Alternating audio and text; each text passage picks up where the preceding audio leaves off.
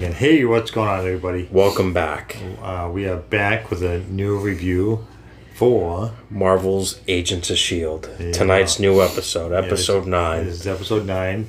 Um, Three more to go. Yeah, it's only three. Three There's more. twelve more episodes. 12 more. episodes. Um, this one is one they basically they're they're stuck in a time jump. So was it um, Daisy, Daisy and, and, and and Coulson the old one? for some reason they have like these time time loop powers. But it was kind of interesting because they basically sort of made another connection with the Marvel movies without referencing them because obviously Doctor Strange has the has if you've seen Doctor Strange the movie he basically has powers that cause him the time loop.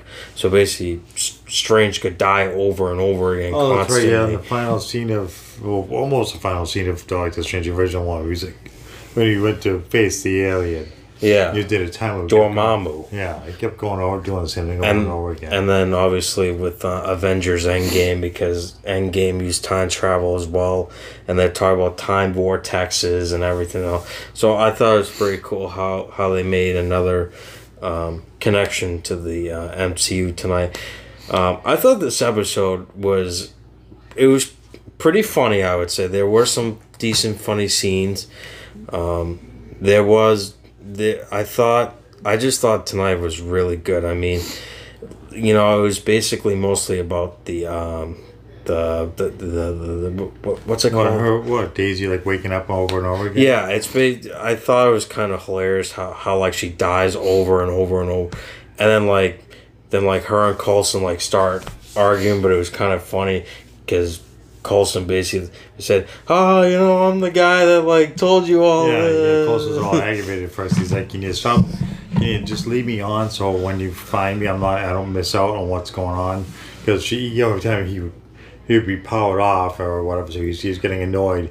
He's like, "I've already told you this like 76 times or whatever the number was." But basically, each time she dies, they get closer and closer to the time vortex.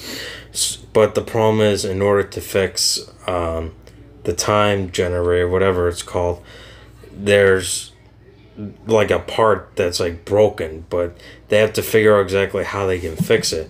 So, like the first time they tried getting it through um, Agent, um, what's her name, Simmons Yeah. through her head because they basically said, "Oh well, may- maybe if we take the memory chip out, then then may- maybe she'll know how to fix it." Well, that didn't work out so good because Enoch just kept kept attack, and that's one of the things that was funny was uh, every time they were trying to get the memory thing out of Simmons's head, Enoch would come in and just start attacking everybody, and then I then I think the funniest one was. Uh, where all the shield members walk in and Matt goes, "We need to talk," and then like in the end they're like all destroyed and Yeah, everything. way to get all those weapons. Like, oh yeah, that was funny. It took this episode. Yeah, it took this episode a little bit to get to get going, but once it's like get going, and part of it can you know you know kind of amusing, especially Enoch. You would just come out of nowhere and just start beating them all up and everything. You know, and, and He wouldn't kill them; he would just beat them all up. you know I thought that was kind of funny about that. Um, yeah, it took a while. They and all because they were trying to get you know the implant out of um, Simmons' head. To which you could tell them that what we need is because of is part of Enoch. So once they got past that point, then the time reset again. But they knew this, so they didn't have to try to remove Yeah. the, the thing in her head again. So Enoch wouldn't beat them up the the next time around because they didn't have to do it. So basically, um, you know, and Agent Simmons basically says, "Well, clearly it's not the memory chip," and then she goes on to talk about. The part that they need to get it all fixed is inside Enoch. It's Yeah. in him. But they need to try and form a plan to get it out of them. And which they do. They basically, they basically just surround him and they and basically they tell him, and Enoch's like, "Oh, you mean this?" And he just shows it. You know, and they like, just came straight out, just told him what they needed. He just had no problem giving them the you know the, the thing they needed, and you know he was sacrificing himself to for for, for the greater good because he knew he might die, but the rest of them will be saved. And if he doesn't do it, then they're all gonna die. So it yeah. really was like a no brainer, like because he's that, that's what he's gonna do. I thought it was kind of cool when he, like, he made the ultimate sacrifice to save the rest of them, but it was also the the way that they did it because you know there's you know Daisy Coulson and Enoch they're all just sitting together and the scene was really it was emotional because you know Yeah. basically Coulson's like you know well it feels sad to die alone and you feel bad for leaving people behind but it's like you know at the same time it's like you're not alone you know and then Coulson basically talks about like how many times he's died constantly and he feels bad doing it but but he knows like you know just how sad it is and but it was also kind of cool of how Enoch also tells them like like I've seen the future. It's like you will all die eventually. It's just I can't tell you. Um, which I thought was was kind of a warning. So it sounds sounds like things are getting heated up as we're heading into the finale. Um, and then obviously they time jump and um, everyone made it safe and I don't know what year they're in now they, there was no de- Yeah, they details yeah, they didn't show that at all. This, this episode was just them primarily stuck in this this time tunnel or whatever you want to call it. time storm Yeah, time. storm. um, And then the ending, which I thought was very cool. Um, they show Malick's son, and um, but Yeah. what's his name? yeah, I forget his name every time. Nathaniel. Nathaniel, and um, and the woman with the crazy Yeah, yeah, powers. I don't know what her name is. We'll have to look it up.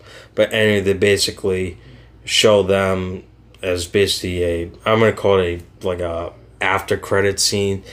And basically he's like he's like, Oh, your sister is gonna love what kind of power you have and and he's basically just praising her of how good her powers yeah, are. because she's oh she's um, Daisy's sister because Yeah. that, her mother was right. There was her mother. Okay, so the mother's got two daughters. So and I, in the early seasons they didn't mention her having another daughter. So we thought she was the only one.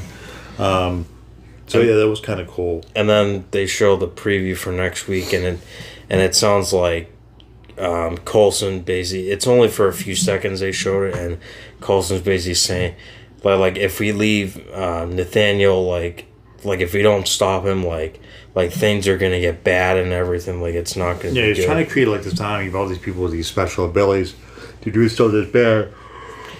yeah Oh, sorry, it's late. Um, so yeah, it's trying to create an army of these of like these Inhumans to do bad stuff, not and not not for good. and then humans are supposed to be the the good guys not the bad guys Yeah, so um, yeah, that should be interesting. See, see what happens next Um, week. It will probably be the same year they're in because it does show the same characters from last week's episode. What year was it? The It was, eighties. it was the eighties. So they're probably back in what in the eighties. I'm assuming if it's gonna be a repeat, but it, it looks like it looks like next. Sorry, it's just the thunder outside. Um, it sounds like next week is gonna be a very interesting because. You know, there's only three more episodes. I don't know how they're gonna wrap all this up. yeah, there's a lot, a lot to do in, in, in three episodes. Um, I'm not sure if the final episode is going to be longer or not. Sometimes you do finales and a little bit longer than the all the other episodes. So I'll have to Yeah. see what happens there. Um, I just want to go back to the whole thing with Enoch. It's going to uh, be said he's not in any of the future episodes because I thought he was kind of brought like a certain um, I don't want to say like comedic kind of thing because his personality was always so different, and it was almost like you know Yeah. um, humor that wasn't really on purpose. I agree. It was, you know, that, that tonight's episode, what- it was sad with him, him dying and, and him realizing that being a chronicom, he'd never had feelings, and now that he was been with these people for so long, now he knows what it's like to have friends, to have feelings, to feel lonely. And I thought that was cool how Coulson and Daisy stayed with it, stayed with him until until he died. Um, Yeah, yeah, so I agree. You know, so that was, that was pretty good of them to do it that way, because he became became a, a pretty big part of the of the, of the, the show. I mean, the first was just you know a couple of small roles. Also, you mentioned Fitz. Uh, that Fitz is his, best Yeah, friend. so I mean, Um, Fitz continues to get mentioned in these episodes, but we haven't seen an appearance in any of the I can't seasons so believe this far. is episode nine, and he still has yet to be in a single episode so far. Um, I'm curious where he is and what's what the big secret is. Why he's going to be kept hidden from who?